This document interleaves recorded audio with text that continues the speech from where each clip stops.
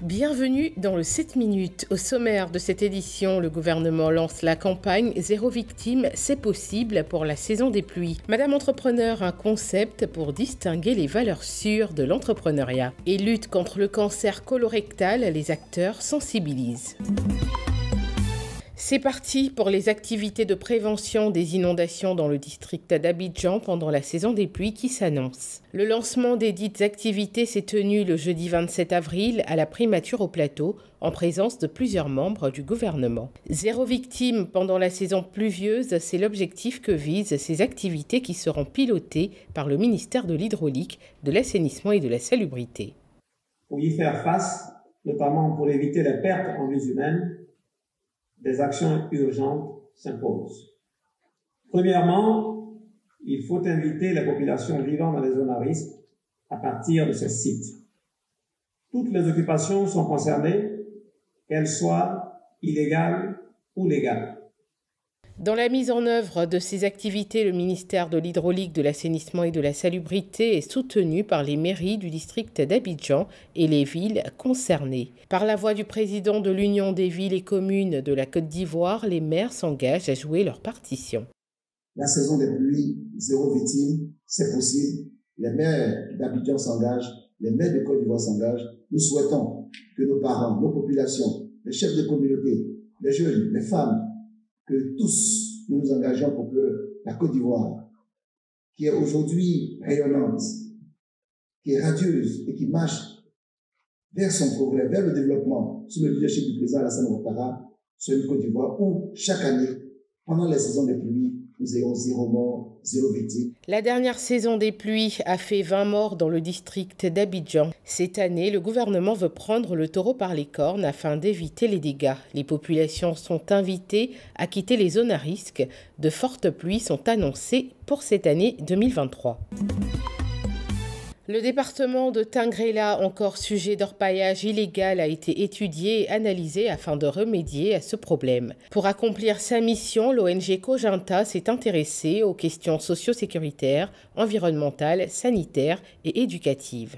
Cette étude reflète la réalité de l'orpaillage telle qu'elle est vécue euh, dans le département du Tengrela. Nous avons eu pour ambition au début du projet de mener une étude qualitative pour comprendre le phénomène de l'orpaillage et ensuite procéder à des recommandations qui pourront accompagner cette activité pour la réguler, pour en faire d'elle un levier de développement au sein du, département du Tengrela. Nous avons eu l'occasion de voir à travers les projections vidéo et les statistiques qui ont été faites vraiment l'ampleur de ce phénomène dans le département du Tengrela.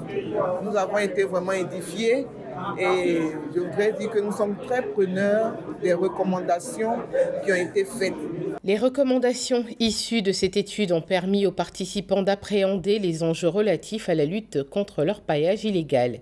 Cette session de restitution s'inscrit dans le cadre de la mise en œuvre du projet d'appui à la sécurisation et à la valorisation de l'exploitation aurifère artisanale comme facteur de développement et de cohésion sociale au nord de la Côte d'Ivoire. Mettre en lumière les femmes entrepreneurs, les célébrer, leur permettre d'avoir accès au financement, c'est l'objectif de Madame Entrepreneur. Un concept initié pour valoriser ces femmes qui se démarquent et se battent jour et nuit pour être autonomes. Évaluées dans cinq catégories, trois finalistes seront sélectionnés sur cinq nominés après les votes en ligne sur la page Facebook officielle Madame Entrepreneur. Les finalistes se soumettront ensuite au pitch devant le jury pour présenter leurs activités et projets. Madame Entrepreneur aimerait pouvoir se vanter d'avoir permis à ces femmes-là d'avoir accès au financement. Et c'est notre fierté au bout de tout ça, c'est le financement que nous aidons ces femmes à avoir avec notre partenaire euh. Pour ce qui concerne les, conditions de, crédit, on va dire que les crédits sont faits à des taux préférentiels. Là, nous sommes à 16% dégressifs et nous avons quelques allègements en termes de documents à fournir. Et aussi, nous rajoutons à cette offre-là une offre de formation pour justement permettre euh, à nos euh, lauréates d'être euh, aguerris en termes de gestion financière. Pour cette édition, toutes les finalistes recevront un financement et les trois premières des catégories bénéficieront d'une ligne de crédit à hauteur de 20 millions de francs CFA. Je fais connaître à travers ce concours-là par la diaspora.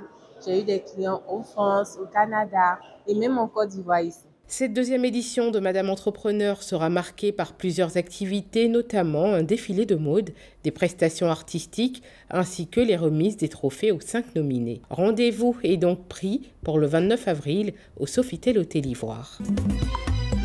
Lutter efficacement contre tous les types de cancers, telle est la vocation de la PNLCA. Le mercredi 26 avril au CHU de Trècheville a eu lieu une conférence de presse avec les acteurs des médias et d'ONG afin de sensibiliser la population sur le cancer colorectal. Le cancer colorectal est une pathologie fréquente en Côte d'Ivoire, potentiellement grave si elle n'est pas prise en charge assez tôt. C'est donc un problème de santé publique. Nous avons rappelé aujourd'hui les principaux signes qui pouvaient faire penser à un cancer du côlon, du rectum. Ce sont les douleurs abdominales, les alternances diarrhée-constipation. Et on peut, voir, euh, on peut avoir une complication qu'on appelle l'occlusion intestinale. Le malade ne fait plus de sel, le malade ne fait plus de gaz et il vomit. C'est une urgence médicale, une urgence chirurgicale. Le cancer colorectal est le cinquième cancer le plus meurtrier en Côte d'Ivoire et n'a pas encore de programme de dépistage, contrairement au cancer du sein et de la prostate. Son dépistage se fait individuellement. Beaucoup de maladies ont les mêmes symptômes. Mais si tu restes chez toi pour dire ah, je vomis ou bien j'ai mal au ventre, peut-être que c'est une inclusion, mais peut-être que c'est ci, c'est cela et tu fais autre chose que le, bon traitement, mais dès que tu vas à l'hôpital, on te dit tu as un cancer du côlon, tu as un cancer du col de l'utérus, tu, as un, cancer, mais tu, les médecins, tu seras, si tu dois aller chez les praticiens, tu sauras adapter le traitement. Donc la meilleure façon de se, de se mettre à l'abri de la maladie, c'est de fréquenter les hôpitaux, c'est de faire des dépistages précoces. C'est. C'est le moment de rappeler que ce cancer encore peu connu du grand public peut être prévenu et guéri dans la majorité des cas lorsqu'il est détecté tôt. Voilà qui met fin à cette édition. Merci de nous avoir suivis. L'information continue sur cette info.